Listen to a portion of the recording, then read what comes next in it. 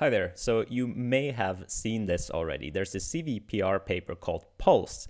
And what it does is it's a method to upsample a pixelated image in a way that makes it look realistic, but also that the again downsampled variant matches the original downsampled image. So it's kind of a cycle consistency loss uh, together with a GAN, and all in all, it's a method to demonstrate how you could do this. Now, this has been trained on this face dataset, among others. There was a user, Bomze, that made this into a Colab so people could try it out and tweeted this out. And as you can see, it works pretty nicely, it gives pretty nice results on this particular dataset. But of course, uh, people started playing around with it and gave fairly funny results like this or that. That gets more into the horrible category, these. So you can see um, these ones I particularly like Trump uh, being made into the little child so you can see as soon as you get away from the original kind of data set modality, you are going to get these results that are off. And people started to notice that, so here you input Barack Obama and what comes out is a fairly standard Caucasian person. Someone tweeted out saying, This image speaks volumes about the dangers of bias in AI. I guess here is where the entire story starts. So Yann LeCun weighs in and says ML systems are biased when data is biased. This face-up sampling system makes everyone look white because the network was pre-trained on Flickr Face HQ, which mainly contains white people pics train the exact same system on a dataset from Senegal, and everyone will look African. So this is pointing out why this happens, namely because the dataset is mainly Caucasian people, so the results of upsampling are going to be mainly Caucasian people. I mean, this is like a straightforward explanation of why we're seeing what we're seeing. But of course, this was not okay. And here is where the piling starts. As an interjection, we have to talk about bias in machine learning. Technically, there's the statistical notion of bias, which has a very rigorous definition, and there is the societal definition of bias. And these two things, even though they're the same word, they're totally different. A machine learning system mainly consists of four different parts. There is the dataset, the model, the loss function, and the optimization procedure. Statistical bias means whenever the model, the loss, or the optimization procedure lead to a situation where the outcome doesn't reflect the distribution of the data that you input. This, for example, is achieved when you regularize your model, which means that you put some prior knowledge onto the model you introduce bias and therefore you choose to not accurately represent your data distribution, regularize it to a more biased distribution that in turn has lower variance. We know this as the bias variance trade-off. It's, it's actually very simple, right? You, you have the Ferraris and the Lamborghinis and you want to make a model that predicts the accident probability. Now, it just so happens that the Ferrari drivers are a bit more reckless and they do slightly higher accidents. And now I train my logistic regression and it tells me, okay, 60 40. Cool. But now I train my logistic regression with an L1 penalty. And I say, I want my model to be, you know, explainable. So I want it to be sparse. I want the least amount of variables to be contributing to it. What's the model going to say? The model's going to say Ferrari drivers, bad. Lamborghini drivers, good. Societal bias in machine learning is way different. An example for this is when face detection systems work well on Caucasian people, but don't work so well faced with people from other heritages.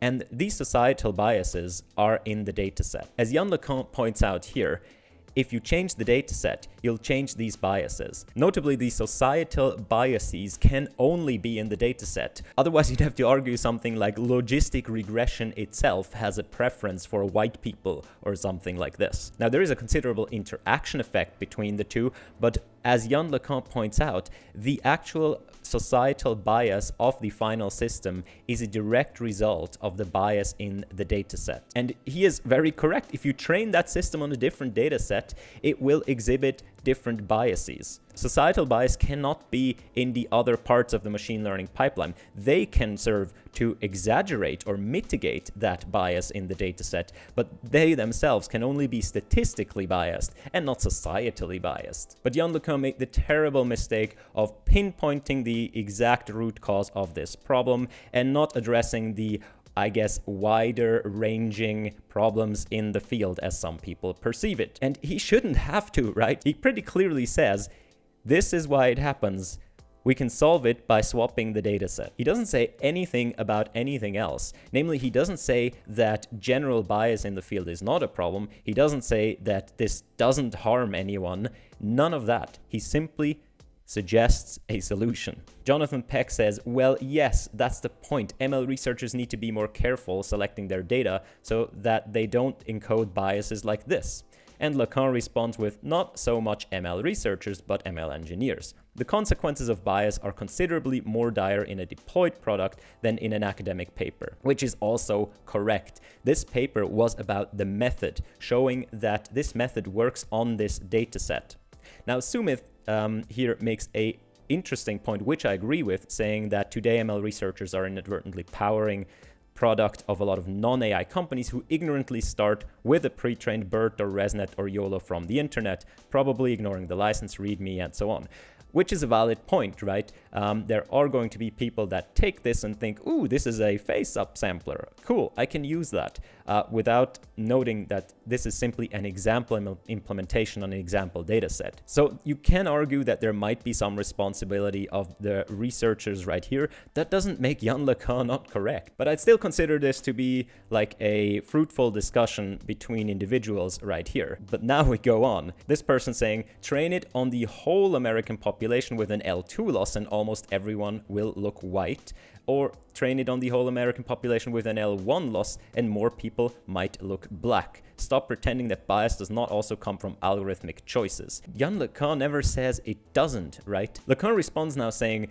the most efficient way to do it, though, is to equalize the frequencies of the categories of samples during training. This forces the network to pay attention to all the relevant features for all the sample categories. And training with an L1 instead of an L2 will not even begin to solve the problem. I would pretty much argue training with an L1 loss here would exacerbate the problem, because the L2 loss is much more sensitive to outliers. Charles Sutton says, serious question, why do you feel that it's important to make this point? Are you worried that people are going to start suing CycleGAN? And LeCun says, because People should be aware of this problem and know its cause so they can fix it. How terrible, Yann, how terrible you dare pinpoint the exact cause of the problem so that people can fix it. The correct thing to do is to point out that everything is problematic. So Timnit Gebru says, Yann, I suggest you watch me and Emily's tutorial or a number of scholars who are expert in this area. You can't just reduce harms to dataset bias.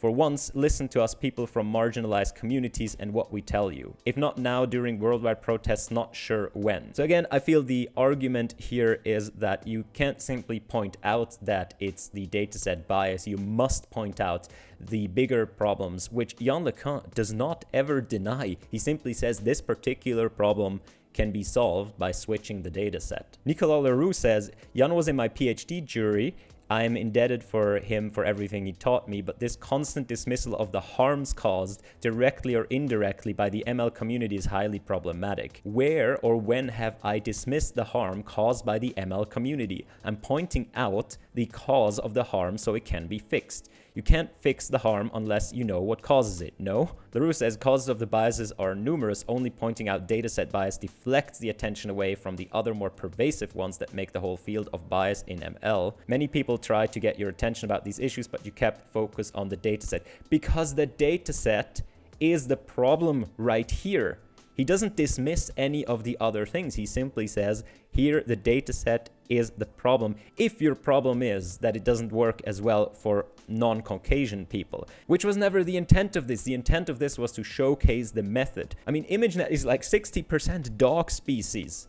And still, people train on it to showcase their image recognition techniques. No one training on ImageNet makes a claim that they have solved computer vision for all the classes in the world in a fair manner. Timnit Gebru goes on saying, I'm sick of this framing, tired of it. Many people have tried to explain, many scholars listen to us. You can't just reduce the harms caused by ML to dataset bias.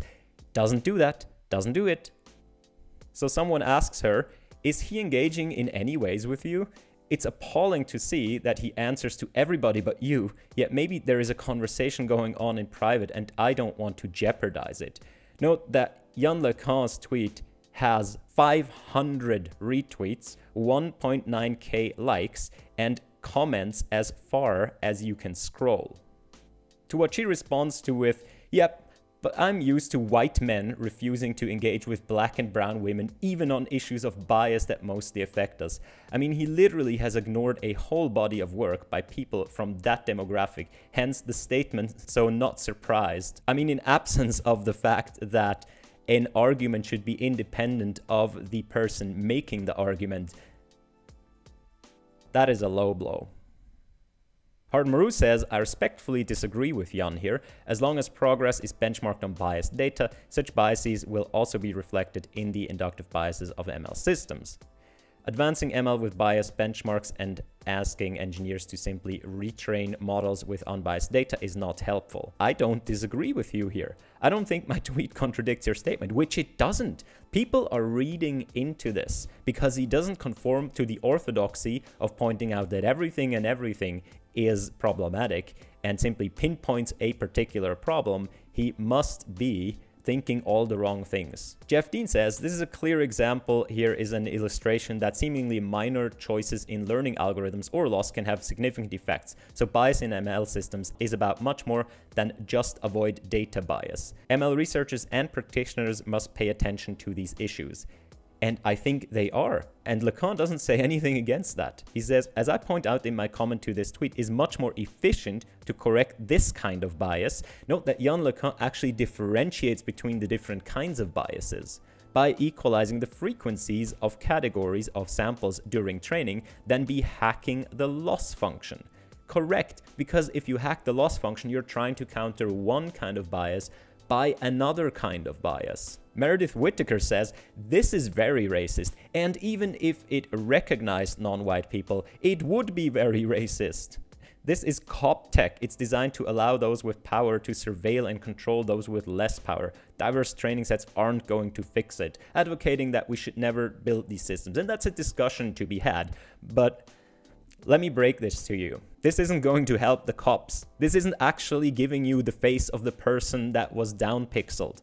This is simply going to give you the most likely face associated with that down pixeled picture given the data set the algorithm was trained on. I don't see this whenever any machine learning algorithm does anything with faces at all, people jumping up going like, this is cop technology. Well, in line with all the broader impact statement advice, can't it also be used to find lost children from very, very bad security camera footage. And if I already mentioned that this doesn't actually give you back the person on the downsampled image. It will give you back the most likely person given the data set. So with that, I want to conclude this section. Please stop the witch hunting. LeCun made a completely fine tweet here, and there's no reason why people should pile on him this hard. He doesn't dismiss any of the other problems just because he doesn't mention them. And while we all enjoy a good discussion where people disagree genuinely, it's not helpful to accuse him of things he never said or meant. I mean, where does this all lead? The result of this is going to be that small labs that don't have the resources to collect their own data sets or check for all the possible biases in their models that are reliant on the data sets that we do have, even if they are biased and flawed, will just be disincentivized from publishing their code or actually doing research at all. So this, as every other additional constraint on research, is going to help the large corporations with lots of money. And maybe that's just my opinion, but we should be able to just talk about a problem and the solution to it without always having to make sure that we rabble down all the different things that are and might be wrong according to the canon. And big props to Yann LeCun here for holding his own. 90% of people by now would probably be like, oh yes, I'm so sorry, I did a not thoughtful comment, blah blah blah. Props to you, Yann. Keep going. And with that, I conclude this section. Let me know what you think in the comments, and I'll see you next time. Bye bye.